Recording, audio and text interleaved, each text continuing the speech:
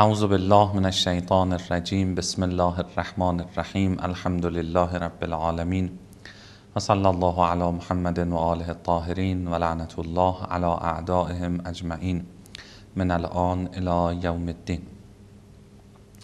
عرض سلام دارم خدمت شما بینندگان گرامی.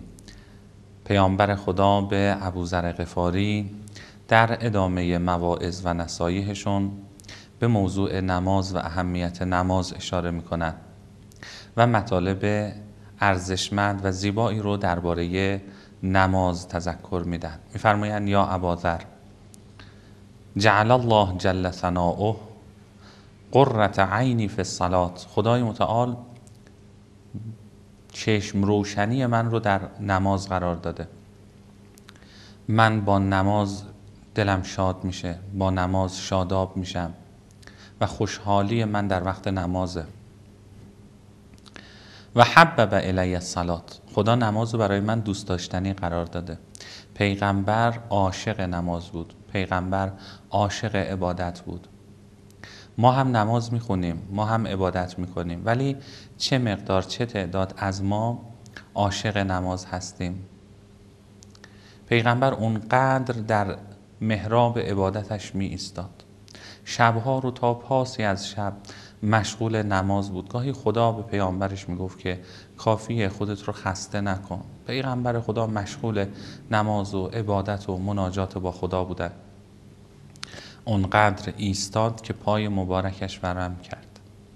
کدوم یکی از ما سراغ داریم؟ کسی رو که در نماز خودش اونقدر بیسته در نمازهای مستحب و نافله ها که پای او ورم کنه. اما پیغمبر درد پاشو احساس نمی کرد. چرا؟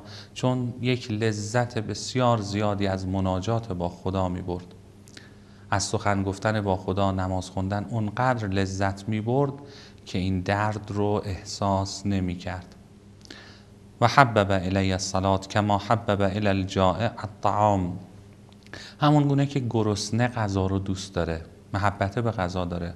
چون احساس نیاز به اون می‌کنه. و الی الظمآن الماء. تشنه ای که به آب می‌رسه چقدر به آب علاقه داره و چگونه خودش رو با آب سیراب می‌کنه. قصه من با نماز این گونه است. و ان الجائع اذا اکل شبع. اما با این تفاوت که گرسنه وقتی غذا بخوره سیر میشه. تشنه وقتی آب بیاشامد سیراب میشه. و انا لا اشبع من الصلات اما ای ابوذر من هیچ وقت از نماز سیر نمیشم همیشه تشنه نمازم. همیشه تشنه نمازم. بعد فرمودن یا اباذر ما دمت فی الصلات فانک تقرع باب الملک الجبار.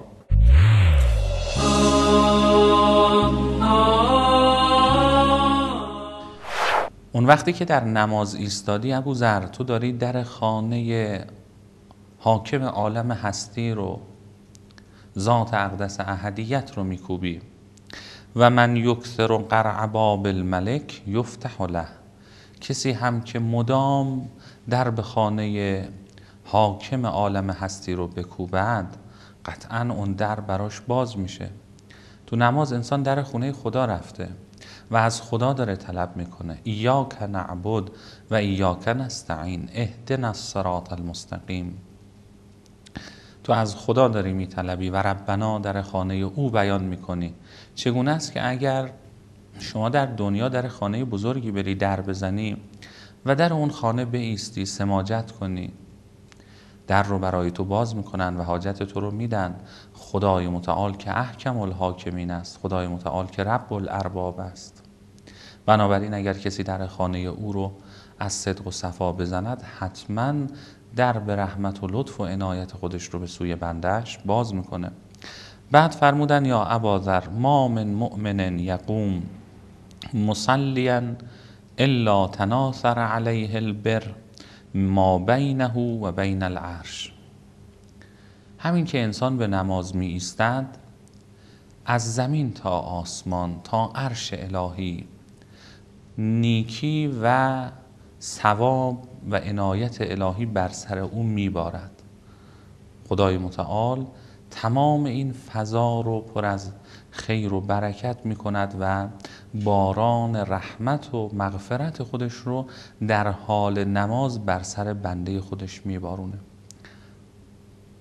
به همین جهت هست که روایت داریم هر نمازی که انسان می‌خونه کفاره گناهان او هست.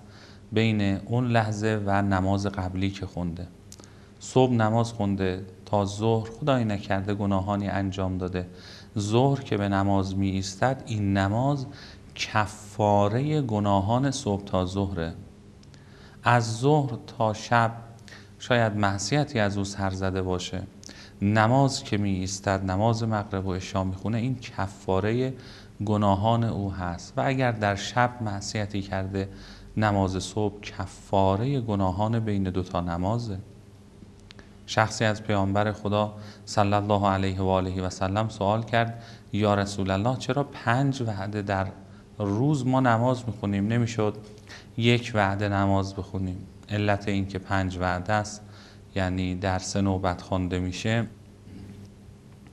علتش چی هست؟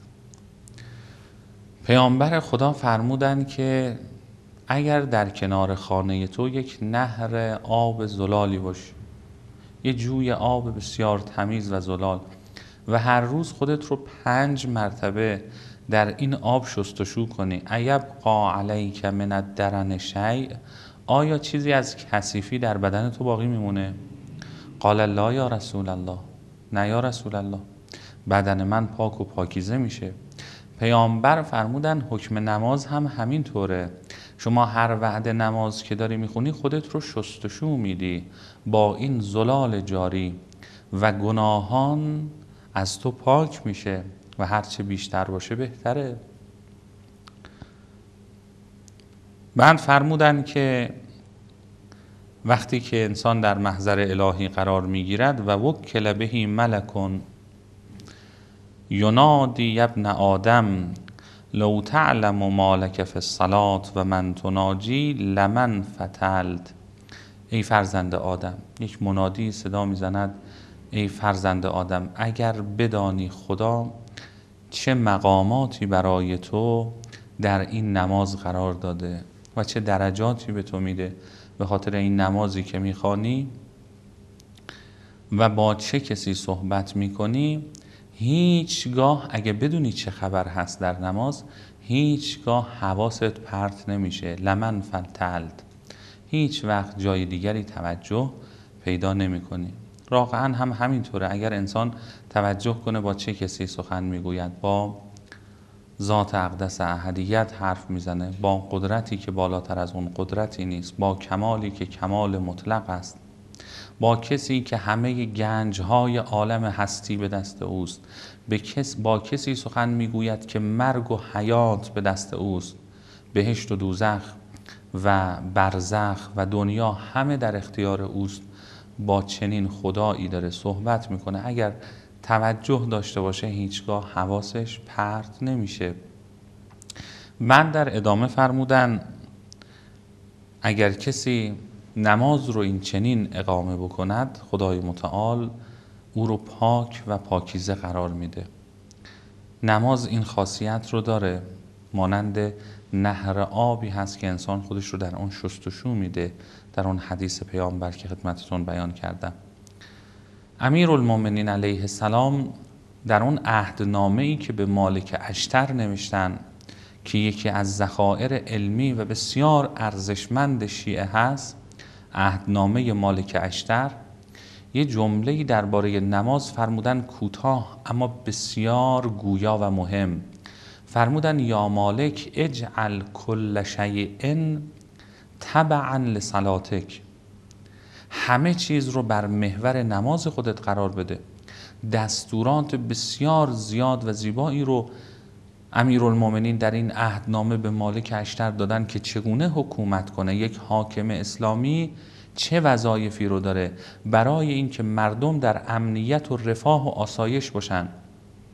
خیلی دستورات دقیق و عمیقی رو بیان فرموده اما میفرماید همه این وظایف رو بر محور نماز قرار بده. اصل باید نمازت باشه. اصل نماز باشه. از نمازت باید نیرو بگیری برای تطمیق عدل و عدالت در جامعه. اجعل کل شیء تبعا لصلاتک. همه چیز رو در پی نماز خودت قرار بده. محور و اصل نماز باش. اگر کسی نماز براش موقعیت زیادی داشت تو زندگیش بها بده به نماز. ما وظیفه داریم این چنین باشیم با نماز. چون قرآن میفرماد ویل للمصلین. وای بر نمازگزاران ویل چاهی است در جهنم. وای بر نمازگزاران بله چه نمازگزارانی؟ الذین هم فی صلاتهم ساهون اونهایی که بی توجه به نمازن. نماز می‌خونن نه اینکه نماز نخونن. اون کسی که نماز نخواند عمدن که به هر حال حساب اون روشنه. نه اون کسانی که بی توجه به نماز. هر جوری شد نماز می‌خونه. با حضور قلب بی حضور قلب با توجه بی توجه این شخص نماز را سبک شمرده. گاهی اول وقت می‌خونه گاهی آخر وقت می‌خونه. اصلا حسابی برای نماز باز نکرده. قرآن فرماد ویل للمصلی. اگر کسی نماز رو اصل قرار بده یکی از کارهای مهم یکی از کارهای بسیار ارزشمند اگر ما وعده با بزرگی داشته باشیم چقدر دقت می‌کنیم که چند دقیقه قبل از موعد برسیم و اونجا حاضر باشیم چون بزرگی برای ما وقت گذاشته و ما می‌خوایم خدمت او برسیم. در نماز انسان با خدای متعال وعده کرده و در برابر او می‌خواد قرار بگیره. قرآن کریم میفرماید ان الصلاه تنها عن الفحشاء والمنکر. اگر ما همین نماز رو فقط جدی بگیریم بسیاری از مشکلاتمون حل میشه. فقط همین نماز. چون میفرماید این نماز از فحشا و منکر کارهای زشت و ناپسند انسان رو باز میداره. چرا ما نماز می‌خونیم؟ اما هنوز هم فحشا و منکر تو جامعهمون وجود داره تو زندگیمون وجود داره. علتش اینه که این نماز خوانده شده اما اقامه نشده. این نماز اونگونه که باید با شرایط برگزار نشده و الا نمازی که کامل و جامع باشه دست انسان رو می‌گیره و به آسمان صعود میده. در روایت داریم از صلات و معراج المؤمن. نماز معراج مؤمنه. اوج میده انسان رو. به درجات عالی قرب الهی میرساند. از صلات و قربان و کل تقی. نماز وسیله تقرب انسانها به ذات اقدس احدیت است و هیچ چیزی مانند نماز این ویژگی ها رو نداره. نکته بسیار مهمی که هست بعد از اهمیت دادن ظاهری به نماز مسئله حضور قلبه چون نمازی که بدون حضور قلب باشه ارزشی نداره. مورد قبول قرار نمی‌گیره صحیحه اما قبول نیست. این نکته رو ما باید توجه بهش داشته باشیم که عبادات دو جنبه داره. یک جنبه شرعی و یک جنبه قبول الهی. حج همینطوره روزه همینطوره. بسیاری از اعمال همینطور هست.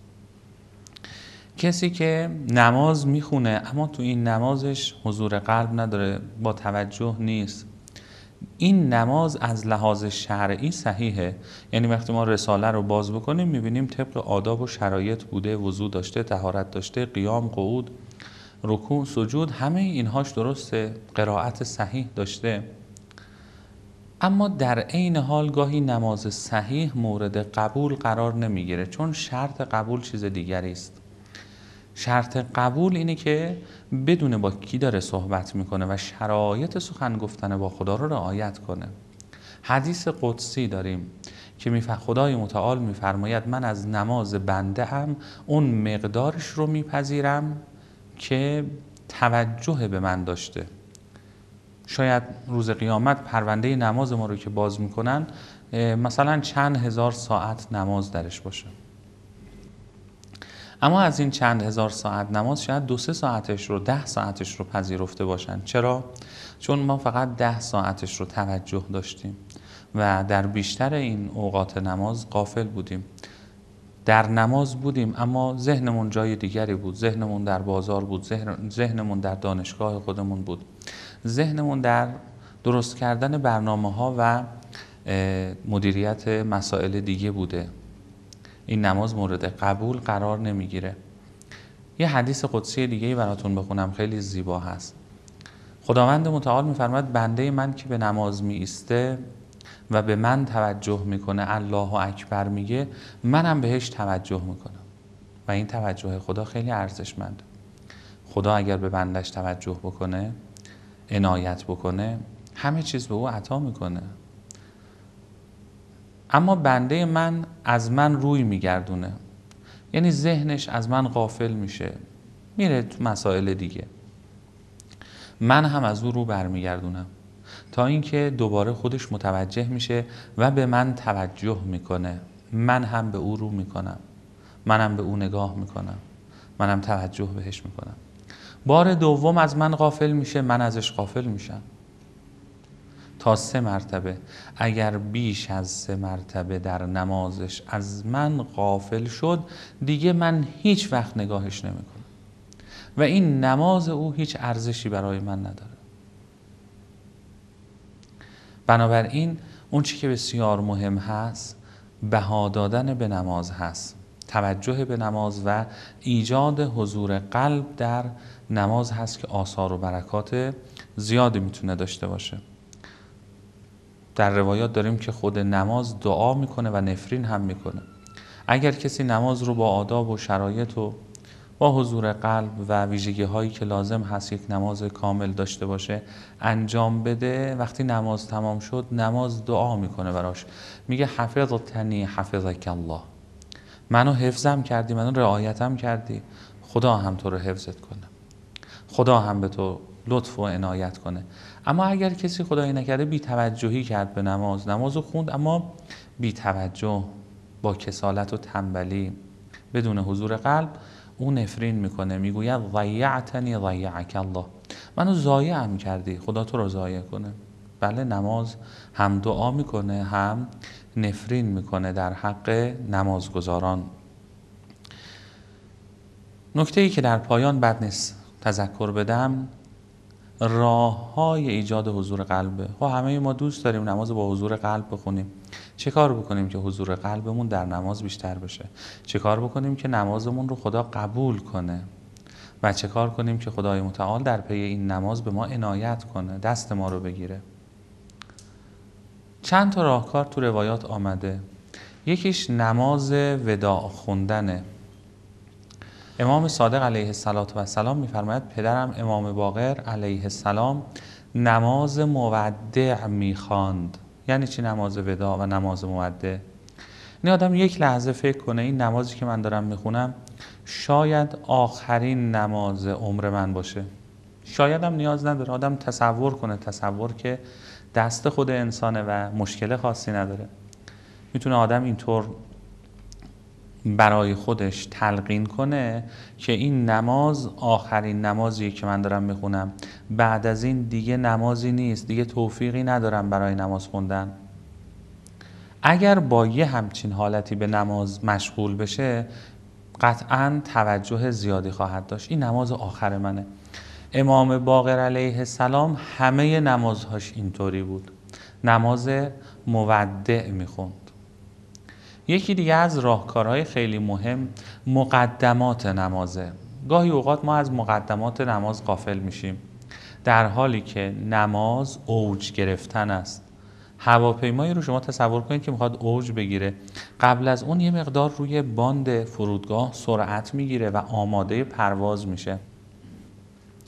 اگر نماز معراج مؤمن هست شخص نمازگذار باید به مقدمات نماز هم یه توجه بیشتری داشته باشه. مثلا وضوع وضوع رو با توجه بگیره. این ذکرهایی که بسیار بسیار قشنگ و زیبا هست. هنگام وضوع گرفتن هنگام شستن دست ها شستن صورت از کار بسیار قشنگی بیان شده و در کتاب های مختلف وجود داره. در خود رساله های عملیه فقها هم آمده این ذکرها و این دعاها. این دعاها رو انسان بگه. بعد حتما اذان و اقامه بگه. اونقدر اقامه مهم هست که میگن اگر کسی مشغول نماز شد بعد یادش اومد که اقامه نگفته. می‌تونه نمازش رو بشکنه برگرده و اقامه رو بخونه و بعد مشغول نماز خودش بشه. حالا اگر کسی مثلا اذان رو هم نگفته اقامه رو حتما بگه. و قبل از اینکه تکبیر الله اکبر رو بگه تکبیر نماز رو بگه یک لحظه تعمل کنه که من با چه کسی می‌خوام صحبت کنم و اون کسی که مورد کلام مورد سخن من هست کیست؟ توجه به این مزامین می‌تونه حضور قلب ما رو بیشتر کنه. از اینها گذشته توجه به خود از کار نماز و اونچه که قرائت می‌کنه از حمد از سوره از ذکرها. همون ذکر اول نماز الله اکبر.